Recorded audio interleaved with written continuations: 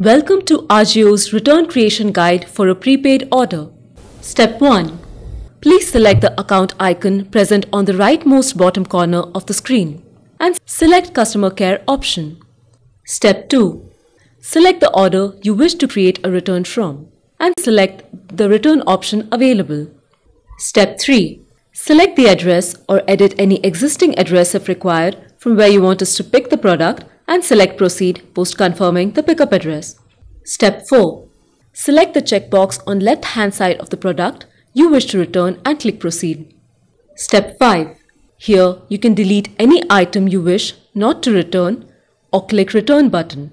Step 6. Select your reason and the subsequent reason to return this product. You can add any additional comments if required by clicking on write comment and click save at the bottom of your mobile screen. Step 7. Kindly confirm that the product is unused and tags or box are intact by selecting the checkbox just above back button at the bottom of your mobile screen and select submit request. Thank you for following the AJIO return creation guide of prepaid order.